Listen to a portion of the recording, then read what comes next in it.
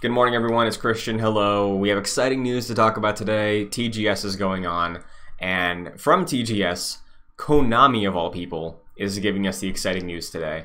So, via Video Games Chronicle, it is being reported in conjunction with TGS and everything that's going on. Konami is looking to bring back their IP. They're looking to re enter the premier console gaming space, as they've described it. And that begins with a Castlevania reinvention. We're not here to talk about Castlevania today. I respect the series from a distance. I have not played many of the games. I love a lot of what those games exist as. I have some thoughts on what the reinvention should be FromSoftware. But we're here today to talk about Metal Gear Solid because I love Metal Gear Solid. I'm a huge fan of the franchise. I love Kojima, love the games. I replayed them this year. I hosted a podcast called The Longplay Club. It's here on JoyClicks. We ran through all of them. That was like my second or third time playing through the franchise, and uh, I greatly love these games. So I'm stoked to hear that again via Video Games Chronicle, Metal Gear Solid is coming back through remasters and re-releases for modern consoles. When this is gonna be, I don't know, but we have a 25th anniversary coming up in 2023, which remember that, we'll get to that again.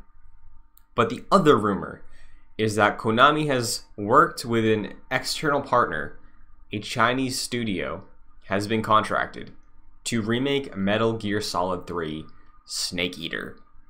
And as the morning has gone on, we have learned more and more about this project. Specifically, the remake is in early development.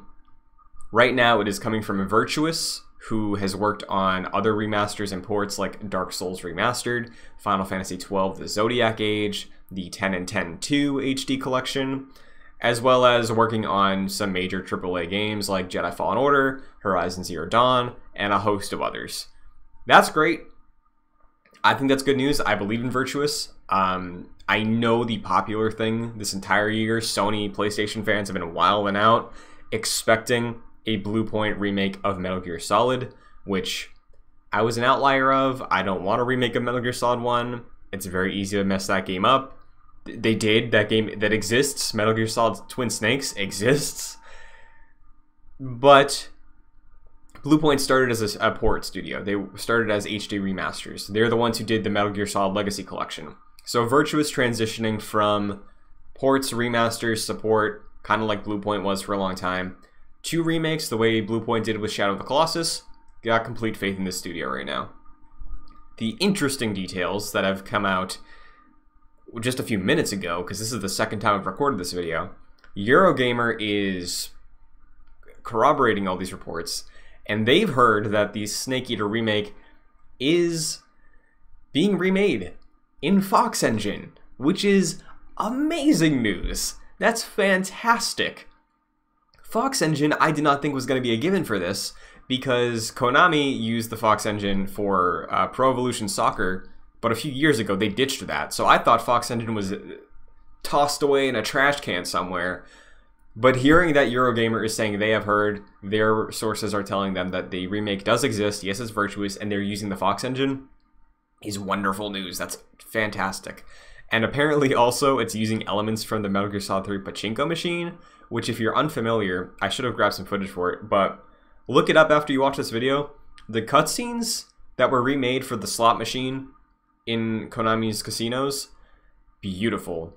It's made in Fox Engine. It's cutscenes of like Snake and Boss. It's it's beautiful. So the fact that they're sort of taking that visual approach to this is a wonderful news. But the reason I think Snake Eater makes the most sense is, like I said, we have Metal Gear Solid 1. We messed it up with, with Twin Snakes. In the year 2021, as someone who's replayed Snake Eater recently, I don't like. There's a lot of rose tinted glasses looking at this game it's not the game that I feel like people act it is. It feels archaic in some ways, and I think a remake can only help it. Story wise, there's some things I don't love about the characters and the way they get treated, but I don't imagine that would be touched much. When it comes to the game, though, uh, there's no crouch walking. And that kind of sucks because I knew when I was playing Release Order this year, when I was on the sticks for Snake Eater, I was like, well, the next game for Big Boss is Peace Walker. I can crouch walk in that. I can crouch walk in five. I can crouch walk in four even. So I think that is kind of a holdup for me because Metal Gear Solid 1 and 2 exist as this really solid top-down stealth action game. And uh, I feel like a remake would shift genres drastically. Snake Eater is that first stab at that third-person stealth action survival kind of. We talked about that a lot in the podcast. It kind of feels like the originator of a lot of these survival games. And it doesn't feel the way you want it to feel, I think. There could be more fluidity to the movement in Snake Eater, and a remake will only help with that. Get it closer to 5. If it's Fox Engine, now my ambition is it is basically if Metal Gear Solid 5 was just the story and locations of Snake Eater. That's my expectation out of this now. Um, and I think that would only help it. That was my other disappointment in Snake Eater. The jungle environments of Russia feel very um, claustrophobic. And it's the wilderness, you know, like there's a time and place in Metal Gear, and it's my favorite time and place for industrial hallways. That's my preferred Metal Gear game. But Snake Eater does have that balance of the nature and everything. So if you're bringing in the Fox engine, blow up the environments, that is my hope there. So when it comes to what would actually be being a remade in Snake Eater, I really think you have a harder time messing it up. It's a pretty straightforward story it's basically a James Bond Cold War era, very grounded, not the sci-fi anime elements that come into play with Metal Gear and Metal Gear, sorry, Metal Gear Solid, Metal Gear Solid 2 and 4. But I, I think it would be a lot easier to make this game, make it be celebrated by fans, and have it live up to what an expectation should be, even without Kojima. Is it the original Metal Gear project I wanted to see for a comeback? No. My dream was Bluepoint or somebody else, Virtuous even, making a modern day remake of Metal Gear and Metal Gear 2 Solid Snake, the MSX games, because those have a little to no story in them. They do not have the love from the fans the way that any of the Solid games do, especially Snake Eater. So I feel like any risk of screwing up the tone would be completely gone there, and you can just have a lot of room to flex as a studio of creatives because Metal Gear and Metal Gear 2 are just basically the bones of, of a story in a game. Like, you can go off.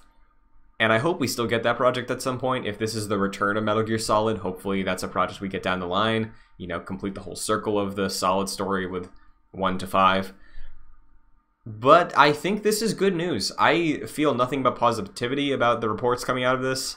I think this is going to be excellent. I think it's going to make that game probably the game people act like it is and earn some of that limelight and respect once again. Because Snake Eater has been outdone since it came out, I think. Uh, I didn't grow up with the franchise, like I said. I played them, with the exception of Metal Gear Solid 1, I played that when I was younger. I played the franchise for the first time in completion leading up to 5, and I played it again and then this year. So I think this is just good news. I know it's a holy game for some people. People act like it's the holy grail of gaming. So for those that are huge, massive fans of Snake Eater, let me know what you think of this. Are you worried? I understand if you would be. I feel that way about Metal Gear Solid 1, but I, I think it's possible, even without Kojima. I think from what we've heard so far, I have a lot of faith and excitement. This is like one of my most anticipated projects right now. So we will cover this more in the future. I will talk about this more in the future. But if you're curious more my in-depth thoughts on Snake Eater, like I said, I'll link the specifically the Snake Eater portion of the Longplay Club Metal Gear podcast series uh, in the description, and I'll probably tag it too up there. But the one thing you shouldn't do though, don't don't remake the song. That song is perfect the way it is. Don't re-record it. You could remaster it if you wanted to, but don't re-record it. It's perfect the way it is. But add crouch walking. The the 3DS version has crouch walking. That's just take that and put it in here. Um, but I'm excited. Nothing's holy, especially Snake Eater, and that's it for me.